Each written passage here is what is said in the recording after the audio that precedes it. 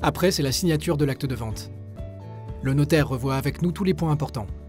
Le prix, le délai de livraison, la description, et on peut lui poser des questions sur la succession, la gestion de patrimoine. Bon, et une fois que c'est signé, tu peux ouvrir le champagne. Tu es officiellement propriétaire.